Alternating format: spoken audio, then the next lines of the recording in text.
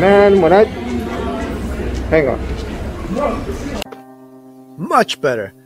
Let's discuss No Way Home without any spoilers. Yeah, no spoilers. With the incredible amount of hype surrounding this movie on a global scale, from the trailers to the rumors to the teasers to everything around the internet. I mean, it literally almost broke the internet just to get a ticket to get to this movie and breaking records left and right. Only to the comparison of Endgame, which Endgame is quite possibly the biggest superhero movie that has ever existed. And as we've seen in the trailers, as far as who has been already confirmed, and getting confirmations like William Dafoe coming back to his role, adding to this incredible hype train, leading to what I could only state as a perfectly balanced, perfectly paced, balancing its humor, its action, its CG action, and how the characters balance out each other. That is purely a entertainment buffet to the Marvel Cinematic fans. And it does differ from previous movies that really brings out the essence of what it means to be Peter Parker and the incredible complexities of being a young teenager with incredible abilities and having the responsibility.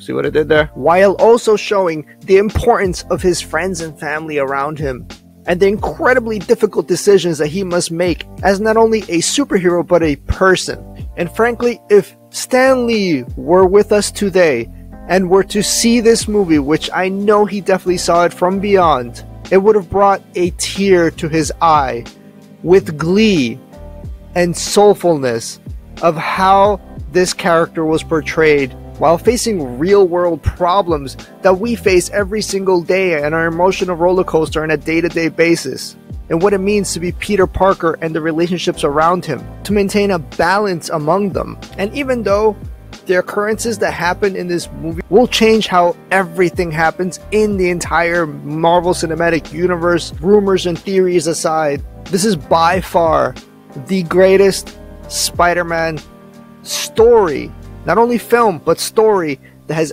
ever been made. Period. And Stan the Man Lee would have been extremely proud to see this film. Now, one thing I will state is that do not go anywhere after this movie is over. Watch the end credit scene. All of them. I'm looking out for all you fellow fans, just like me. I'm looking out for you. If you want to confirm if there's any end credit scenes, yes, there are end credit scenes. Stay all the way to the end.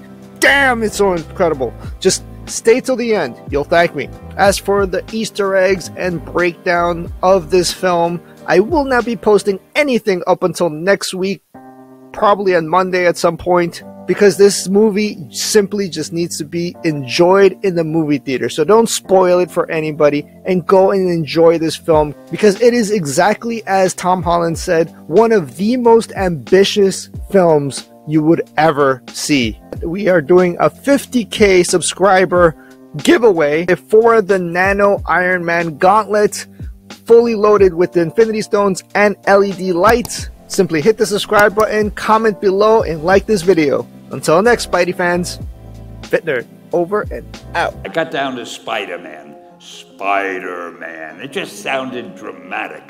So, okay, I had my hero, I had his power, his name. And then I figured, just for fun, I'm going to give him personal problems. I told him. This was my reaction, the reaction he gave me. Stan, that is the worst idea I have ever heard. First of all, and he started to give me his, because he's a very logical man, very intellectual. First of all, people hate spiders, so you can't call a hero Spider Man. You want him to be a teenager? Teenagers can only be sidekicks. And you want him to have personal problems? Stan, don't you know what a superhero is? They don't have personal problems. Well, I left the office disappointed, but obviously a much wiser man. If you have an idea that you genuinely think is good, don't let some idiot talk you out of it.